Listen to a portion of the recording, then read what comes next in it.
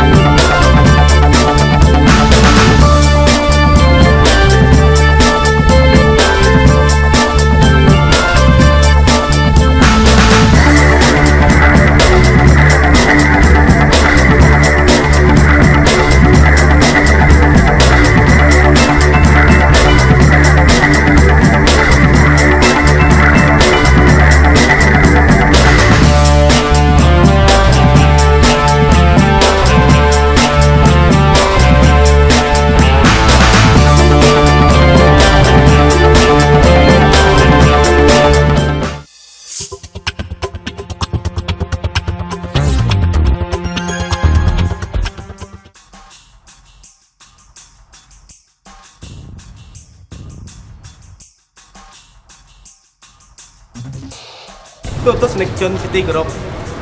សូមស្វាគមន៍មកកាន់កម្មវិធីយុវជនឆ្នាំ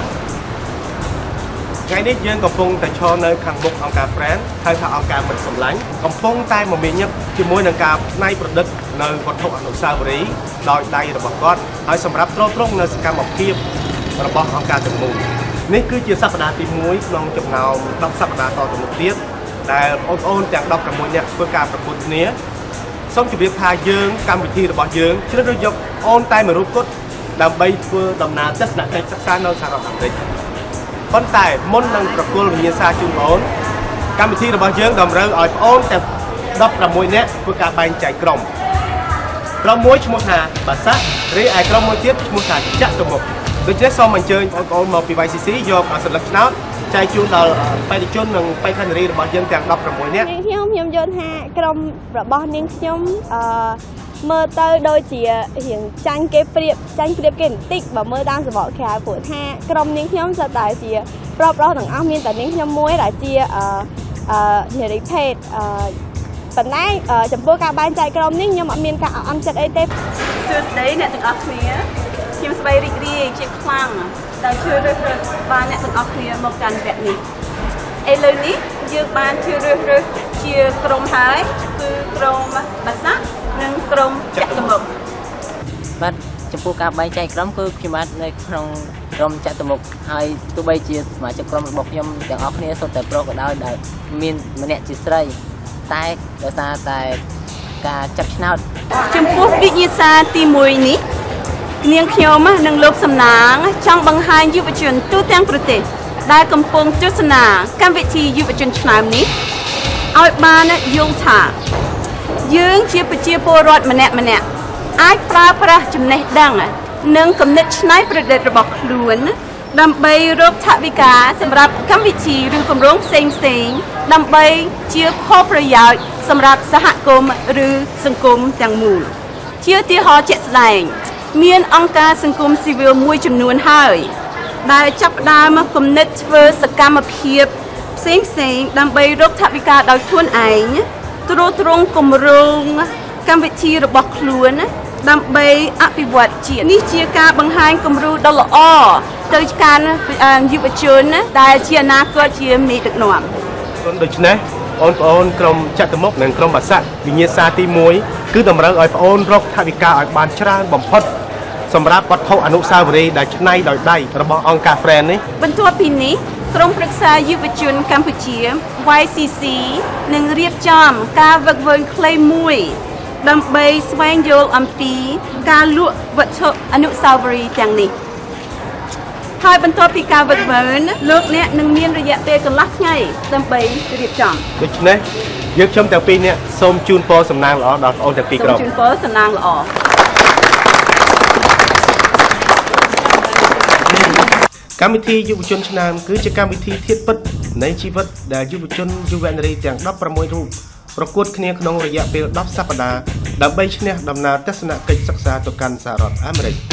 នេះគឺជាកម្មវិធីអប់រំមួយដែលយុវជនកម្ពុជាមានឱកាសប្រកួតប្រជែងលើភាពជាអ្នកដឹកនាំ និងទទួលបានបទពិសោធន៍ដ៏ល្អបំផុតសម្រាប់ជីវិតរបស់ខ្លួនរៀងរាល់សប្តាហ៍បេក្ខជនទាំងអស់នឹងបែងចែកជាក្រុមដើម្បីប្រកួតគ្នាលើវិញ្ញាសាផ្សេងតាក់ទងនឹងភាពជាអ្នកដឹកនាំជាធម្មតាមានអ្នកឈ្នះនិងមានអ្នកចាញ់ក្រុមដែលចាញ់នឹងបោះឆ្នោតទម្លាក់សមាជិកក្រុម2នាក់ចេញពីការប្រកួតសួ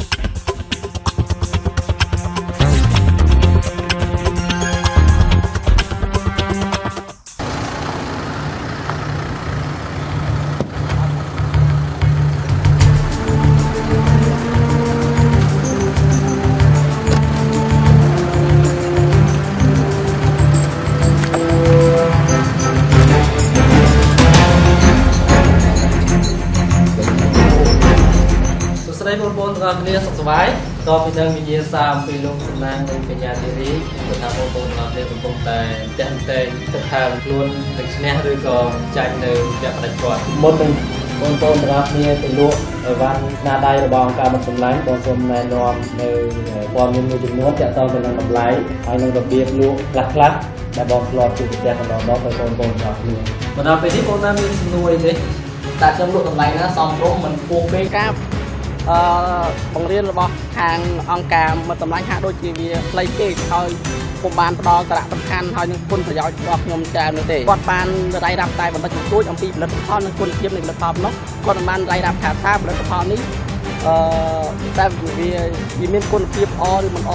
វត្ថុដែលអង្គការមិនចំណាយផ្ដល់ឲ្យអឺពួកខ្ញុំលក់ហ្នឹងអឺមានវត្ថុអីគេខ្លះ ឬក៏មានគ្រប់ប្រភេទដែលអង្គការធ្វើបានឬក៏គ្រាន់តែជាអឺចំនួនប្រភេទមួយចំនួនដែលផ្ដល់ឲ្យពួកខ្ញុំលក់ការវឹកវើរបស់អឺអ្នកជំនាញមកពីអង្គការមិត្តសម្លាញ់មិនសូវជាមានអឺប្រសិទ្ធភាពប៉ុន្មានទេចំពោះនាងពួកនាងខ្ញុំក្នុងចំណោមប្រូទាំងពីរហ្នឹងបងបងថាអាចរើសផលិតផលណាក៏បានដែរអញ្ចឹងអាចមានអឺអាចមានច្រើនហើយនឹងតិចឬក៏អាចបែងចែកឲ្យស្មើគ្នាចំពោះផលិតផលដែលយើងត្រូវយកទៅលក់ មើគ្នាកបោក៏មានតម្លៃស្មើខ្សែដៃទៅតាមសមត្ថភាពរបស់ក្រុមនីមួយៗក្រុមនីមួយៗគិតថាសមត្ថភាពរបស់ខ្លួនលក់បានប៉ុណ្ណាឲ្យខុសគ្នាអឺខ្ញុំបានរៀនវគ្គបណ្ដុះបណ្ដាលពីខាងអឺអប្រធានអង្គការមិត្តសម្លាញ់គឺខ្ញុំបានទទួលបានចំណេះដឹងខ្លះៗពីគាត់ពីខាងលក់និងស្គាល់ពីលទ្ធផលតើបានតើលទ្ធផលនឹងបានមកពីណាពីណាគេអ្នកធ្វើអញ្ចឹងគឺខ្ញុំបានទទួលចំណេះដឹងពីគាត់តែដៃមានច្រើនប្រភេទតម្លៃផ្សេងផ្សេងៗគ្នាអឺជនបរទេសមានច្រើនមែនប៉ុន្តែ ជនបរទេសភាគច្រើនគឺមានចំណាប់អារម្មណ៍ទៅលើវត្ថុអនុស្សាវរីយ៍ធម្មតាគេមកដល់ភ្លាមគេតែងតែដើរទៅរកទិញអង្គការមកសម្លាញ់មិនត្រឹមតែជាអង្គការមួយដែលជួយសម្របសម្រួលនិងជីវភាពអឺសម្របសម្រួលដល់ជីវភាពរបស់កុមារនោះទេថែមទាំងជាអង្គការមួយឲ្យកុមារបានរៀនចេះកែច្នៃនៅវត្ថុអំពីធ្វើអំពីដៃយើងអាចពីក្រុមគេដឹងកន្លែងណាដែលត្រូវទៅអញ្ចឹងអាចយកមានកន្លែងមួយអញ្ចឹងជាប់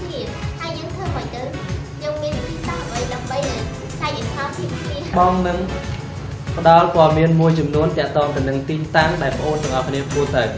អូខេបងសូមអរគុណច្រើនសម្រាប់ការយកចិត្តទុកដាក់អឺលើការធ្វើបទបង្ហាញរបស់បងហើយបងសូមជូនពរអ្នកទាំងអស់គ្នាទទួលបានជ័យជំនះនៅក្នុងការលក់ដូរវត្ថុអនុស្សាវរីយ៍របស់អង្គការមិនចម្លា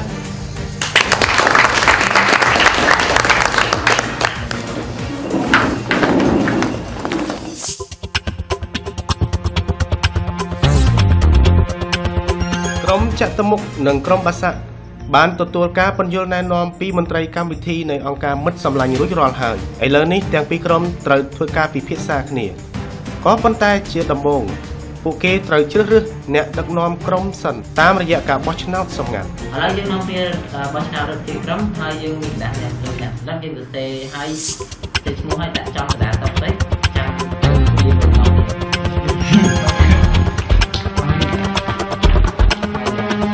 មារយាជាប្រធានក្រុមណា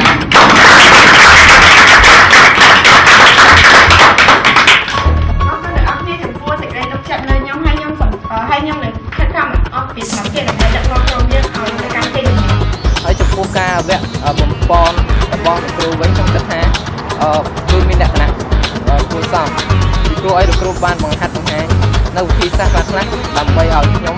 មានកំណត់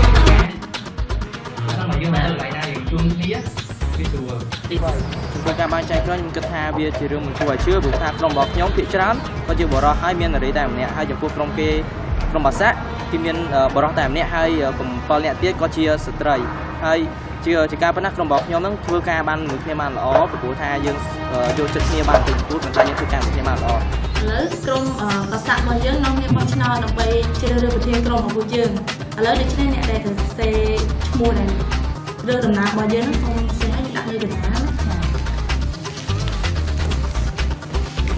អឺអ្នកតំណាងក្រុមយើងគឺបងឡាលីអរគុណដែលអ្នកទាំងអស់គ្នាបោះឆ្នោតឲ្យខ្ញុំចូលជាប្រធានក្រុមនាងខ្ញុំពេញចិត្តនឹងការបែងចែកក្រុមហើយក៏ពេញចិត្តនឹងអឺចូលរួមក្រុមនេះដែរពីព្រោះអីការបែងចែកនេះគឺនាងខ្ញុំថាវាជាការសង្គ្រោះបំផុតហើយចំពោះការបែងចែកក្រុមរបស់នាងខ្ញុំផ្ទាល់គឺនាងខ្ញុំមានការពេញចិត្តខ្លាំងមែនទែនពីព្រោះអីឃើញថាសកម្មភាពរបស់ក្រុមខ្ញុំ ក្រុមរបស់ខ្ញុំផ្ទាល់នេះគឺពួកគាត់មានសកម្មភាពធ្វើអ្វីមួយគឺស្រួលស្រួលគ្នាយ៉ាងល្អនិយាយខ្លីទៅគឺនាងខ្ញុំពេញពេញចិត្តមែនទែនហើយចំពោះអឺការបែងចែកក្រុមនេះគឺយើងធ្វើដោយលក្ខណៈស្ក្រឹតបន្ទាប់ពីទទួលបានការណែនាំវឹកវែងនិងរៀបរួចទាល់ហើយនោះឥឡូវនេះក្រុមទាំងពីរនឹងបង្ហាញសកម្មភាពរបស់គេតាមរយៈការចាប់ឆ្នោតក្រុមបាសាក់ធ្វើសកម្មភាពនៅផ្សារចាស់និងផ្សារ អូរស័យចំណែកឯក្រុមចាក់តមុកធ្វើសកម្មភាពនៅផ្សារអូឡ িম্প ពិកនិងផ្សារកណ្ដាលតើអ្នកណាអាចលក់វត្ថុអនុស្សាវរីយ៍របស់អង្គការមិត្តសម្លាញ់បានច្រើនជាងគេតើក្រុមណានឹងចាញ់ហើយបេក្ខជនរូបណាដែលត្រូវចាក់ចេញពីកម្មវិធីយុវជនឆ្នើមនៅសប្តាហ៍នេះសូមអញ្ជើញតាមដានជាមួយនាងខ្ញុំដូចតទៅ ពីមិនកំព្រាមនេះណាមិនកំព្រាមអ្នកធ្វើឪពុកម្ដាយគេជាអ្នកធ្វើហ្នឹងដៃមានអាវមានកាបូបមានបាល់អឺចំពោះក្រុមខ្ញុំបានបែងចែកជា4ក្រុមតូចតូចអឺទីក្រុមទៅផ្សារកណ្ដាលហើយទីក្រុមទៀតទៅផ្សារអូឡ িম্প ពិកអឺ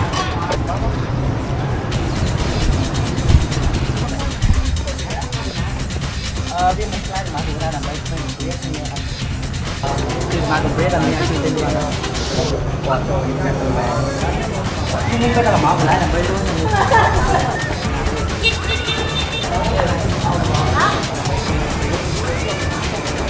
តើអមជួយទេដើម្បីជួយនឹងរីបានតើបងជួយជាបាត់ដុល្លារសម្រាប់ទៅជួយចឹងបាទហើយជួយទៅតាមមកដែរ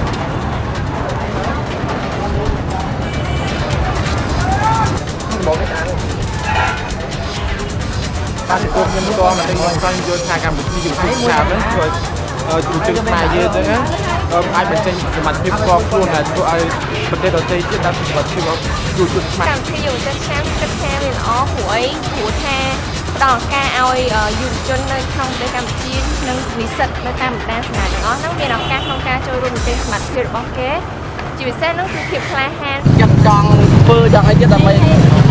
ៃបាន អអានេះគឺជាតម្លៃអាចនិយាយនិយាយថាវាថ្លៃជាងតម្លៃទីផ្សារថៃក៏បានដែរ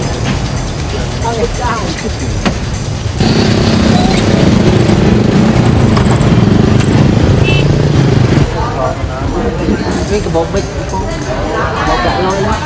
វាបត់ឲ្យក្មេងវាពិបាកបន្តិចពីព្រោះនៅពេលដែលខ្ញុំទៅនោះគឺថ្ងៃ10គឺនៅម៉ោង11ទៅហើយហើយម៉ោង11នេះគឺជាម៉ោងដែលអឺអតិថិជនឬក៏អ្នកលក់នេះគឺជាម៉ោងដែលគាត់ហូបបាយ អញ្ចឹងខ្ញុំគិតថាហាក់ដូចជាពិបាកក្នុងការលក់ណាដៃពួកគេធ្វើបានល្អអឺហើយខ្ញុំក៏ជួយទិញដោយការជួយដល់កុមារកំព្រាអរគុណអ្នកវិញអរគុណខ្ញុំចំពោះខ្ញុំតខ្ញុំមានចំណាប់អារម្មណ៍ថាពេញចិត្តមែនតើដោយសារយើងបានជួយសង្គមខ្មែរយើងដែរគាត់ទីតក្រជាពិសេសហ្នឹងគាត់អត់មានគុំដែរអញ្ចឹងបីបាច់ណាផ្សេងយើងបានជួយជំរុញផ្នែកទីផ្សាររបស់គាត់មានន័យថាពេលដែលគាត់ប្រឹងធ្វើអញ្ចឹងមកដូចជាផលិតផលមួយអញ្ចឹង ពេលដែលខ្ញុំទិញគាត់មានន័យថាខ្ញុំបានផ្ដល់ប្រាក់គាត់ថាបាទព្រោះឧបត្ថម្ភដល់គាត់ម្ដងបាទចាចានេះមួយហ្មងនេះនេះនឹងមួយ3ដុល្លារលោកនេះអរគុណចាអរគុណអរគុណមិនអរគុណកម្មវិធីហ្នឹងអាចផ្ដល់ដើម្បីជួយរក ថវិកាឲ្យក្មេងកំព្រាដូចជានេះតែ1ដុល្លារទេចង់យកកាបូបកាបូបហ្នឹងនេះមានតម្លៃតែ1ដុល្លារ5កាក់ទេបងហើយនេះមានសភៅទៀតមានកាបូបបត់ចិត្តដែរ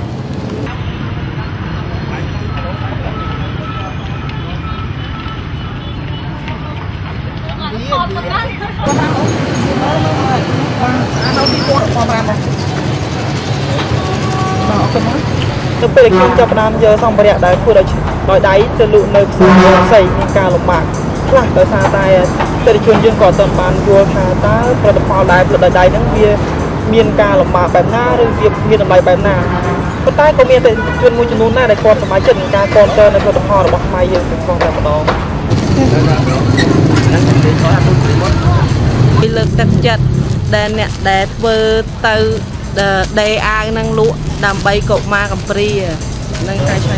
ីផ្សារនេះ នេះគឺជាវត្ថុអនុស្សាវរីយ៍យកពីអង្គការមកសម្លាញ់វាខ្សែកអីកូនអូនថ្លៃដែរហើយធ្វើអញ្ចឹងទៅវាឲ្យមានអឺការងារធ្វើវានេះអត់មានដែលសុំទានគេអីចឹងណាវាមានការងារធ្វើមានអារម្មណ៍សប្បាយរីករាយដែលបានចូលរួមទិញនៅផលិតផលរបស់កូនខ្មែរយើង អានេះតម្លៃតែ1500អានេះ2000ទេបងគឺទិញមួយហ៎បងអានេះតម្លៃ1ដុល្លារនេះ1ដុល្លារកន្លះហើយការលក់របស់ខ្ញុំនោះគឺអឺគឺមានអឺជួបការលំបាកខ្លះដែរក៏មិនដែរអឺក្នុងក្រុមរបស់ខ្ញុំគឺគឺខ្ញុំអាចគឺខ្ញុំអាចអឺដំណើរការបានល្អពេលខ្លះខ្ញុំជួបជនបរទេសគឺគាត់បានចាប់អារម្មណ៍អឺពីផលិតផលរបស់ក្មេងៗបានធ្វើខ្លះគឺគាត់មិនបានចាប់អារម្មណ៍ទេប៉ុន្តែការលក់របស់ខ្ញុំគឺខ្ញុំមានសង្ឃឹមថាខ្ញុំលក់បានច្រើន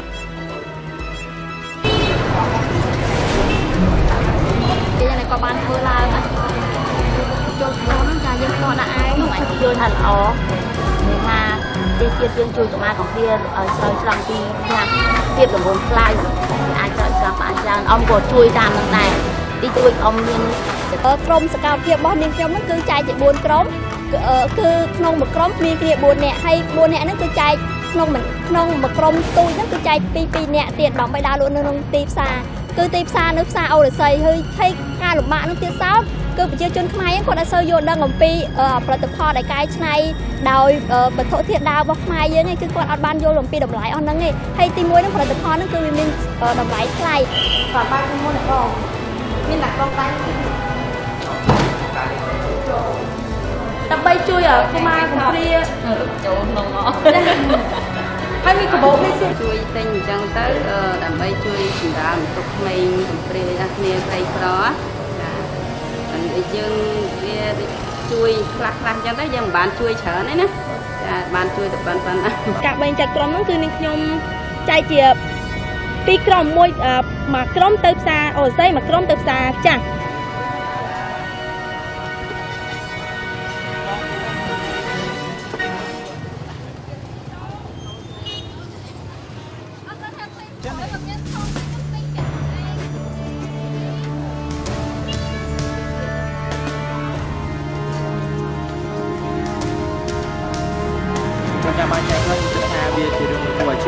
ក្រុមរបស់ខ្ញុំភាគច្រើនគាត់ជាបរិសុទ្ធហើយមាននារីតែម្នាក់ហើយចំពោះក្រុមគេ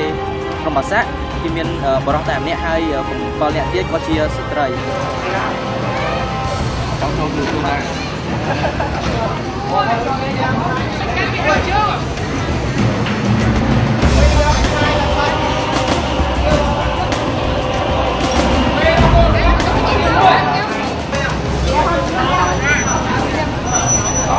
សមាជិកក្រុមរបស់ខ្ញុំទាំងអស់គ្នាគឺសកម្មគ្រប់គ្នាតែម្ដងមានស្មារតីទទួលខុសត្រូវហើយគ្រប់តាមភារកិច្ចរៀងៗខ្លួនពួកយើងធ្វើការយ៉ាងរលីងយឹក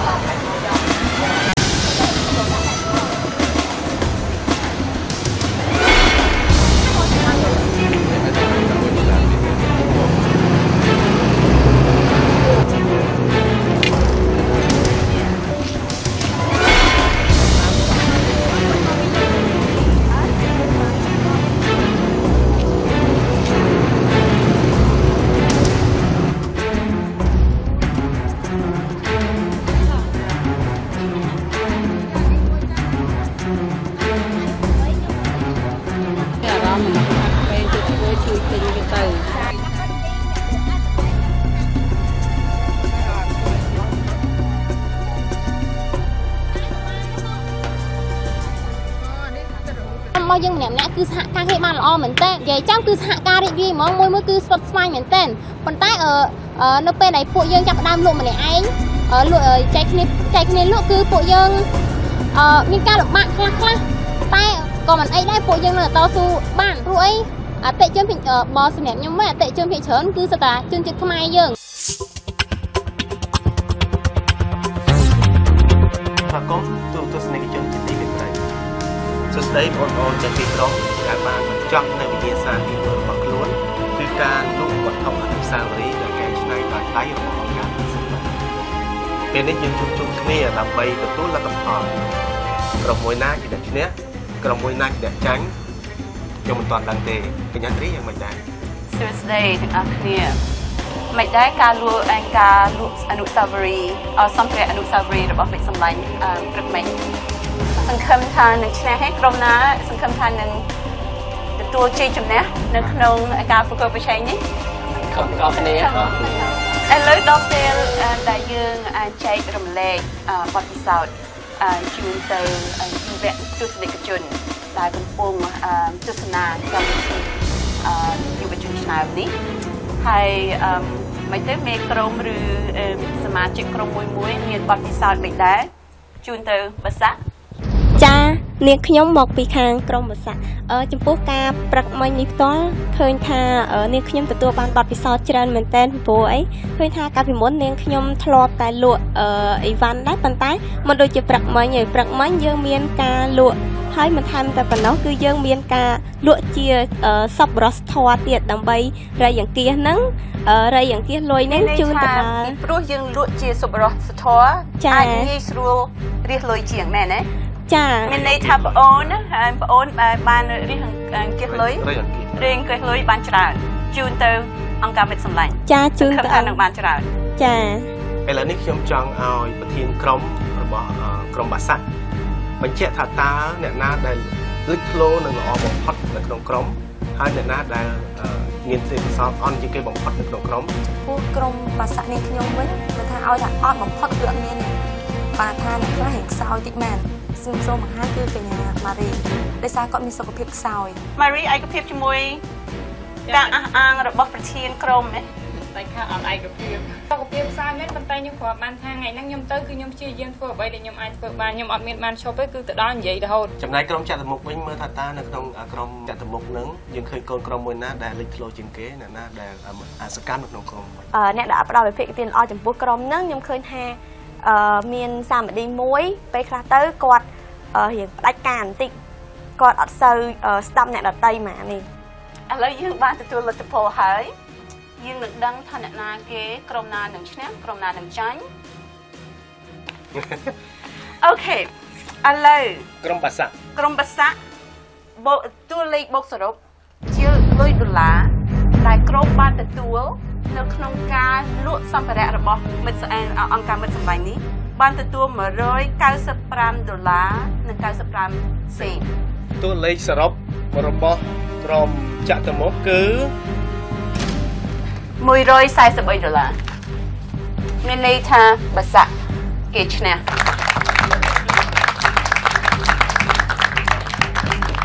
ចំពោះរូបនាងខ្ញុំជាប្រធានក្រុមបាសាក់ដែលជាក្រុមឈ្នះនោះនាងខ្ញុំមានចិត្តសប្បាយរីករាយមែនតើបើថាមិននឹកស្មានថាក្រុមរបស់ពួកខ្ញុំហ្នឹងគឺប្រមូលលុយបានច្រើនហើយដល់ច្រើនថាឈ្នះក្រុមចាក់តមុខគឺនាងខ្ញុំមានអារម្មណ៍សប្បាយរីករាយមែនតើព្រោះថាខ្ញុំអត់បាត់បាត់បង់សមាជិករបស់នាងខ្ញុំទេអបអរសាទរជូនទៅក្រុមបាសាក់ជួបគ្នាសប្តាហ៍ក្រោយទទួលអាហារថ្ងៃត្រង់ជាមួយនឹងយុវជនឆ្នើមក្រុមចាស់និងក្រុមថ្មីថ្ងៃត្រង់ថ្ងៃត្រង់នៅពុទ្ធនិធានឡាំរំលោភអរគុណ សូមក្រុមបាសាក់ក្រុមចាក់តមុខនៅជួបជាមួយនឹងចៅក្រមហើយពីអ្នកនឹងត្រឡប់ទៅផ្ទះ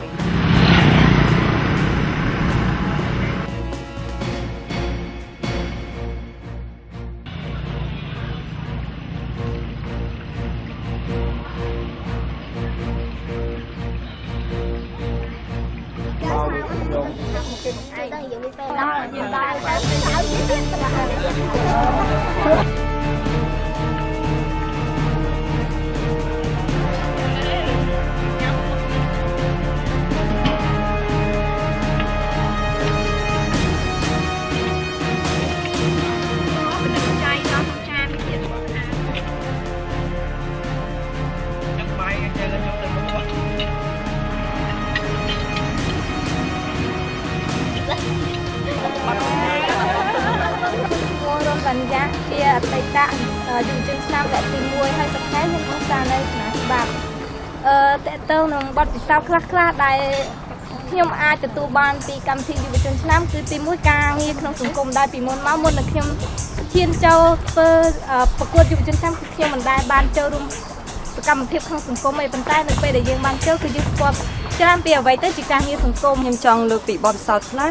ដែលខ្ញុំបានចូលរួមជាមួយនឹងយុវជនឆ្នាំនេះនេះខ្ញុំធ្លាប់មានសកម្មភាពច្រើនជាពិសេសដូចជាការងារសង្គមមានន័យថាការងារតូចក៏ដោយធំក៏ដោយគឺយើងត្រូវតែមានសកម្មភាពហើយយើងត្រូវស្គាល់ពីប្រភេទនៃព័ត៌មានដែលយើងត្រូវនឹងចូលរួមជាមួយនឹងសកម្មភាពនោះកាលពីដើមខ្ញុំយល់ថាការសិក្សាគឺគ្រប់គ្រាន់ហើយសម្រាប់យើងប៉ុន្តែនៅពេលខ្ញុំចូលជាយុវជនឆ្នាំបាទខ្ញុំដឹងថាទំនាក់ទំនងគឺសំខាន់ណាស់ខ្ញុំបានចូលរួមប្រឡងយុវជនឆ្នាំហ្នឹងបាទមានយុវជនឆ្នាំផ្ដល់បទពិសោធន៍ឲ្យខ្ញុំច្រើនណា តាមពីការរៀនសូត្រហើយនឹងការស្គាល់មិត្តភ័ក្តិផ្សេងផ្សេងអឺជាពិសេសពិសេសខ្ញុំបានស្គាល់មិត្តភ័ក្តិជាច្រើនទាំង16នាក់ហ្នឹងនេះខ្ញុំមាន បទពិសោធន៍និងចំណេះដឹងបន្តិចបន្តួចដើម្បីចែកជាមួយមិត្តទាំងអស់គ្នាក្នុងវគ្គថ្មីនេះហើយក៏ចង់ប្រាប់ដល់មិត្តទាំងអស់គ្នាថាការចូលរួមក្នុងកម្មវិធីនេះវាជាថាជាកម្មវិធីមួយដែលប្រឡងប្រជែងទាំងចំណេះដឹងបញ្ញាស្មារតីក៏ដូចជាភាពអំណត់តស៊ូហើយក៏សូមឲ្យមិត្តទាំងអស់គ្នាហ្នឹងព្យាយាមឲ្យអស់ពីកម្លាំងកាយកម្លាំងចិត្តដើម្បីទទួលបានជ័យជំនះក្នុងការមកចូលរួមកម្មវិធីនេះគឺនាងខ្ញុំមានចិត្តសប្បាយរីករាយមែនតើព្រោះថានាងខ្ញុំបានមកទីកន្លែងមួយដែលប្លែកដែលនាងខ្ញុំបានមកហើយគឺថាជាការលើកទឹកចិត្តឲ្យពួកខ្ញុំបានឈ្នះផង ហើយខ្ញុំមកជួបបងបងចំនួនទី1ចំនួនទី2គឺមានគាត់មានការរស់រាយមែនតើហើយបទពិសោធន៍ដែលគាត់បានបែងចែកឲ្យពួកខ្ញុំបានដឹងហ្នឹងគឺល្អមែនតើខ្ញុំមានអារម្មណ៍សប្បាយរីករាយខ្លាំងមែនតើក៏ប៉ុន្តែទន្ទឹមនឹងនោះក៏វាមានជួបឧបសគ្គជាច្រើននិងការលំបាកជាច្រើនជោគជ័យទាំងអស់នេះគឺធ្វើឲ្យខ្ញុំបានទទួលនៅបទពិសោធន៍ថ្មីថ្មីពីចំនួនទី1និងចំនួនទី2ធ្វើឲ្យឲ្យការប្រឹងប្រែងរបស់ខ្ញុំកាន់តែមានកម្លាំងចិត្តនិងតស៊ូក្នុងការប្រកួតប្រជែងជាបន្តទៀតអរគុណឥឡូវនេះយើងបានមកជួបគ្នាសម្រាប់ក្រុម ចតុមុខគឺជាក្រុមដែលទទួលលទ្ធផលថវិកាតិចមូលហេតុអីបានទទួលថវិកាតិចបងសម្រាប់ធានក្រុមចំពោះខ្ញុំជាប្រធានក្រុមខ្ញុំយល់ថាក្រុមខ្ញុំខ្វះអឺនៅ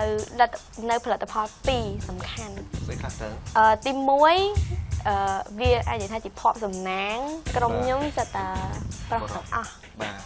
ការចាប់ឆ្នោតណាចាបាទចៃដន្យប៉ុន្តែបរិះខ្លះក៏គាត់អាចលក់បានច្រើនដែរខ្ញុំមើលទូលេខនៅក្នុងនេះគឺបរិះភាគច្រើនក៏មានចំនួនថវិកាបានច្រើនដែរឧទាហរណ៍ដូចជាអូនម៉ៃសាំនេះបានទទួលថវិកាច្រើន12ដុល្លារជាមួយនឹង82500ដុល្លារគឺ82500រៀលអញ្ចឹងសរុបទាំងពីរបានចំនួនថវិកាច្រើនបើប្រៀបធៀបជាមួយនឹងក្រុមបាសាក់បងអូនអត់ចាញ់គេទេបងអូនធ្វើបានល្អអឺប៉ុន្តែអឺ បញ្ហាមួយទៀតគឺពួកខ្ញុំខ្វះសមត្ថភាពក៏ខ្វះបទពិសោធន៍ពួកខ្ញុំខ្វះបទពិសោធន៍ក្នុងការលក់អញ្ចឹងទៅអាពេលលក់ហ្នឹងដោយសារពេលវេលាខ្លីផងបែបខ្ញុំសុំសួរទៅបងអូនគង់រតនាបាទមូលហេតុអីបានចំនួនរបស់បងអូនបានដូចតិចជាងគេម៉េះ8ដុល្លារនិង13200រៀលបើប្រៀបធៀបជាមួយនឹងក្រុមអឺចំពោះបញ្ហានេះគឺ ខ្ញុំសង្សារភាពថាដោយសារតែខ្ញុំគ្មានលទ្ធភាពហើយបើបិទខ្ញុំនៅខ្ចីណាមួយទៀតផលិតផលទាំងអស់នេះគឺខ្ញុំមិនធ្លាប់លក់ពីមុនមកទេហើយនៅពេលវេលាដែលលក់នោះគឺយើងពេលថ្ងៃខ្ញុំរតនាឯងឯងខ្លួនឯងបានផ្ដល់វិធានការមិនខ្លះដែរនៅក្នុងនៅក្នុងក្រុមអឺចំពោះរូបខ្ញុំផ្ទាល់វិញខ្ញុំគិតថានៅពេលដែលថ្ងៃ ធ្វើគម្រោងការខ្ញុំបានដល់ជាដល់ជារបបគឺថាវាជារបបយ៉ាងសកម្មមួយសម្រាប់ក្រុមហើយជាពិសេសទៅទៀតនៅថ្ងៃលក់ខ្ញុំបានយកផ្ដល់ជាកម្លាំងកាយទាំងកម្លាំងចិត្ត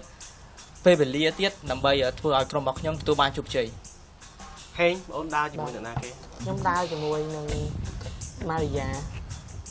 មិនបានបងអូនធ្វើបានតិចបំផុតមែនទែនរហូតដល់8ដុល្លារជាមួយនឹងលុយ1000រៀលលុយខ្មែរព្រោះអីខ្ញុំដើរជាមួយម៉ារីយ៉ានេះគឺជាដើរលក្ខណៈជាគូគឺហើយខ្ញុំម៉ារីយ៉ានិងខ្ញុំគឺរួមដៃគ្នាក្នុងនាមជាមិត្តរួមក្រុមមួយដូច្នេះហើយគឺផលិតផលដែលយើងកាន់ទៅទាំងពីរនាក់គឺយើងលក់ចូលគ្នាតែម្ដងអត់មានការបែងចែកថារកជារបស់អ្នកនេះនិងជារបស់អ្នកនោះទេហើយខ្ញុំសូមលើកឡើងនៅចំណុចមួយទៀត ការដែលខ្ញុំដើរជាគូជាមួយនឹងម៉ារីយ៉ានេះគឺខ្ញុំឃើញម៉ារីយ៉ាធ្វើបិទតែគេជាមេក្រុម នៅក្នុងក្រុមនៅពេលជំជំនុំគ្នាដើម្បីរកផែនការដើម្បីប្រកួតនៅការលក់អ្វីត្បិតតែនៅមិត្តរួមក្រុមទាំងអស់មានគេមានភាពរកម្មរកុសជាច្រើន ហើយម៉ារីយ៉ាព្យាយាមក្នុងការសម្របសម្រួលប៉ុន្តែធម្មតាក្នុងនាមជាស្ត្រីម្នាក់គឺអត់ទាំងអត់មានបទពិសោធន៍ផងហើយ គឺมันអាចសម្របសម្រួលអ្នកទាំងអស់គ្នាបានទេឥឡូវយើងនឹងឲ្យសមាជិកនៅក្នុងក្រុមចាញ់នេះជ្រើសរើសពីអេ2នាក់ត្រូវការទៅសេឈ្មោះ2នាក់នៅក្នុងភាពសម្ងាត់បាទដាក់នៅក្នុងហឹបឆ្នោតដាក់នៅក្នុងហឹបឆ្នោតគិតអែមឲ្យមនុស្សនោះខ្លួនគិតថាត្រូវការត្រឡប់ទៅផ្ទះវិញហើយយើងនឹងបូកសរុបលទ្ធផលហើយជូនទៅដល់ក្រុមហើយសូមបងប្អូនបញ្ជាក់ផងថាពីរអ្នកនោះមូលហេតុអីបានយើងពេញចិត្តនឹងឲ្យគាត់ទៅ បញ្ជាក់ពីមូលហេតុឲ្យបានច្បាស់លាស់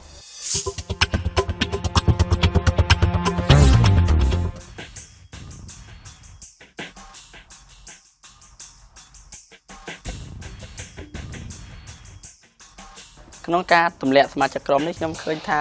អឺវាពិបាកណាស់ប៉ុន្តែក្នុងនោះខ្ញុំឃើញថាមនុស្សពីរនាក់ដែលមានលក្ខណៈដែលត្រូវកែច្នៃបន្តអឺដែលត្រូវកែច្នៃបន្តទៀតអឺទី1គឺមេដឹកនាំអឺ កញ្ញារតនអឺម៉ារីយ៉ាគឺគាត់ខ្វះលក្ខណៈជាមេដឹកនាំដូច្នេះគាត់ត្រូវមានលក្ខណៈជាមេដឹកនាំនិងមួយទៀតគឺលោកអឺថេងរតនាគឺគាត់ហាក់ដូចជាមានលក្ខណៈនៅខ្វះ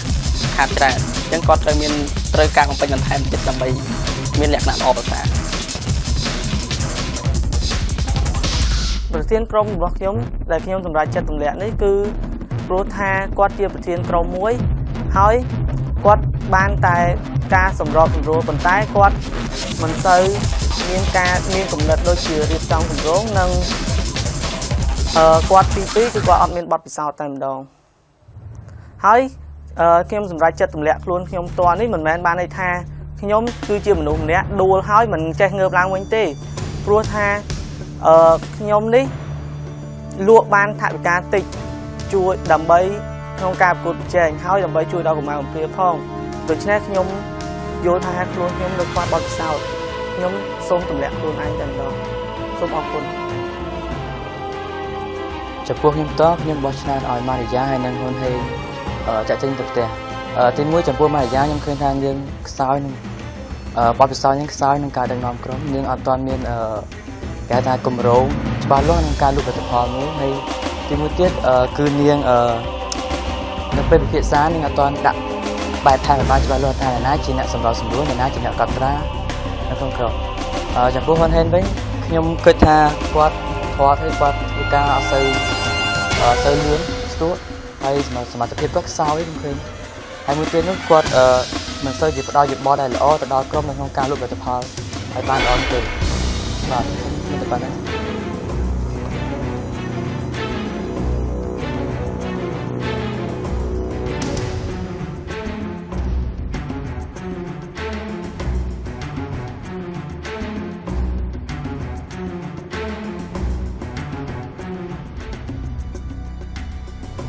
នេះបន្ទាប់ពីការបោះឆ្នោត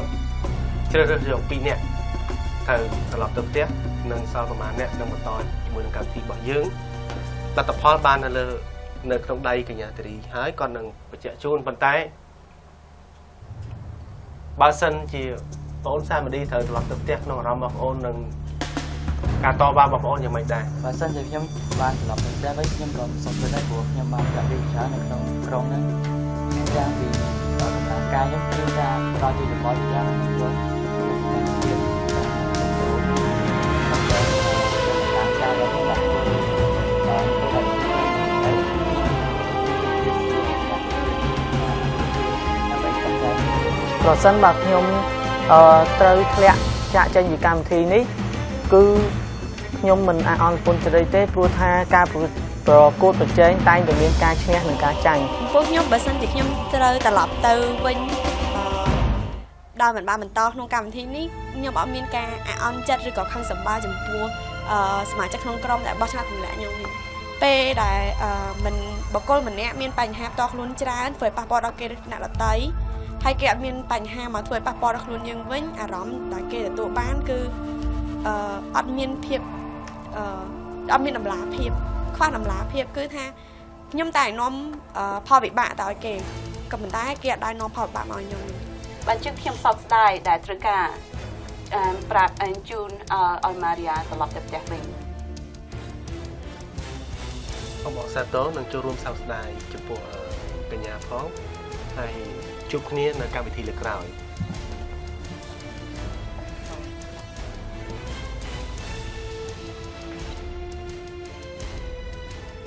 ចំពោះអឺការដែលសមាជិកក្រុមរបស់ឆ្នាំតម្លាក់ខ្ញុំឲ្យធ្លាក់នៅក្នុងវគ្គនេះខ្ញុំអត់មានការអន់សពុនចិត្តអីទេហើយព្រោះថាខ្ញុំដឹងថាអឺខ្ញុំមានអឺបញ្ហាច្រើនពេកសម្រាប់អ្នកដទៃខ្ញុំអត់ចង់នាំទៅដល់គេអញ្ចឹងហើយការធ្លាក់នេះគឺជាជំរើសល្អមួយហើយ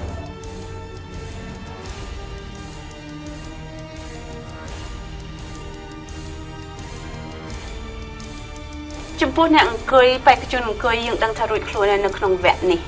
ប៉ុន្តែចំពោះលោកកសលលោកហេងនិងលោករតនាយើងអឺកំពុងមានការជ្រួលច្បល់នៅក្នុងការជ្រើសរើសឋានៈណាគេត្រូវការត្រឡប់ទៅផ្ទះវិញចំពោះលោកហេងហើយលោករតនាលោកហេងត្រឡប់ទៅផ្ទះវិញចំណុចដែលមិត្តរួមក្រុមរបស់ខ្ញុំបោះឆ្នោតឲ្យខ្ញុំធ្លាក់នេះគឺមានចំណុចពីរយ៉ាងទី1 គឺមកពីខ្ញុំនៅការដើរលួចរបស់ខ្ញុំគឺលោកវត្ថុទៅលើសាវរីបានទឹកជាងគេនិងទី2គឺខ្ញុំអឺអត់បានចូលរួមចំណែកក្នុងការអឺពិភាក្សានៅពេលយប់ខ្ញុំគិតថាខ្លួនខ្ញុំគួរតែដកខ្លួនចេញហើយបញ្ហាដែលខ្ញុំគិតថាខ្លួនខ្ញុំគួរដកខ្លួនចេញគឺខ្ញុំមានបញ្ហាផ្ទាល់ខ្លួនដែលមិនអាចនិយាយប្រាប់គេបានហើយក៏ខ្ញុំមានការសោកស្ដាយដែរចំពោះដល់ការដែលខ្ញុំដកខ្លួនចេញនេះព្រោះថា ខ្ញុំមានឆន្ទៈមានឆអាចនិយាយបានថាខ្ញុំមានឆន្ទៈខ្ពស់ណាស់ក្នុងការដែលខ្ញុំដាក់ពាក្យមកប្រកួតប៉ុន្តែមិននឹកស្មានថានៅពេលដែលប្រកួតដល់វគ្គនេះខ្ញុំបែកជួងបញ្ហាដែលខ្ញុំអាចដោះស្រាយបានឡាយដល់កូនជុកប្រាំពីការឆន្ទៈរបស់ខ្ញុំផ្ទាល់ខ្ញុំអត់ទៅដកខ្លួនអញ្ចឹងសូមស្វាគមន៍ហើយសូមអមអបអរសាទរនៅក្នុងការត នៅក្នុងកម្មវិធីយុវជនឆ្នាំនេះចាសូមជួបអមគ្នានៅសប្ក្នុងតាហ៍ក្រោយសប្តាហ៍ក្រោយអស់លោកលោកស្រីឥឡូវយើងឃើញថាពីរអ្នកបានត្រឡប់ទៅផ្ទះវិញហើយមិនថាអញ្ចឹងកញ្ញាធីរីសេងនៅក្នុងអឺវិញ្ញាសាទី1ត្រូវបានបញ្ចប់រីឯសប្តាហ៍ក្រោយគឺនឹងមានបន្តជាមួយនឹងវិញ្ញាសាទី2ទី3បន្តទៀតកញ្ញាធីរីមានអ្វីដែរអត់មានទេអរគុណណាស់លោកលោកស្រីសម្រាប់ការតាមដានទស្សនាជាមួយនឹងកម្មវិធីយុវជនឆ្នាំរបស់យើងហើយសូមជម្រាបផងថានៅថ្ងៃទី7ខែ5នៅថ្ងៃទី7ខែ5 បាទគឺមានការផ្សាយផ្ទាល់តាមរយៈកញ្ចក់ទូរទស្សន៍ CTN នៅវេលាម៉ោង5:45នាទីគឺថាធ្វើការផ្សាយបន្តផ្ទាល់លោកអ្នក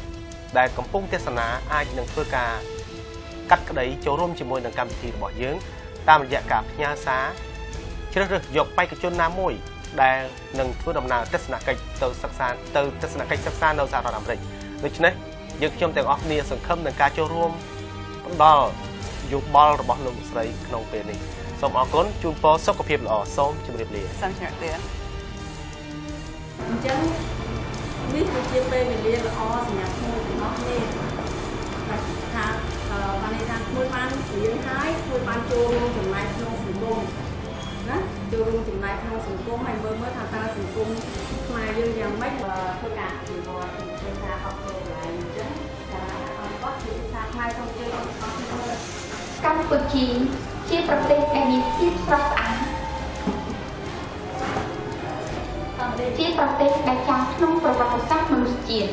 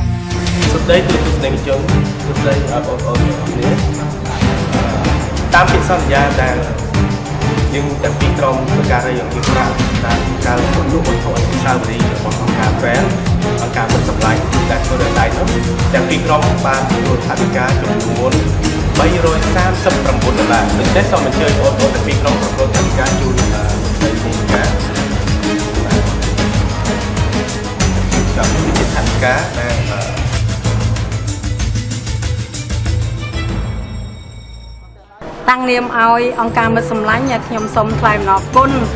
យ៉ាងជ្រាលជ្រៅចំពោះបងប្អូនយុវជន ដែលមានឈ្មោះថាយុវជនឆ្នើមហើយក៏សូមអរគុណដែរបងប្អូនជាសំណាង ដែលបងប្អូនទាំងអស់បានចំណាយពេលវេលាដ៏មានតម្លៃបងប្អូនជួយលក់ផលិតផលរបស់អង្គការមិត្តសម្លាញ់ដែលធ្វើដោយដៃដោយម្ដាយឪពុករបស់សិស្សហើយក៏បានរួមចូលក្នុងថវិកា 600ដុល្លារទៀតអរគុណណាស់លោកលោកស្រីចំពោះការចូលរួមហើយនៅចំពោះទស្សនាជាមួយនឹងកម្មវិធីយុវជនឆ្នើមបាទសូមអរគុណសូមជម្រាបលារ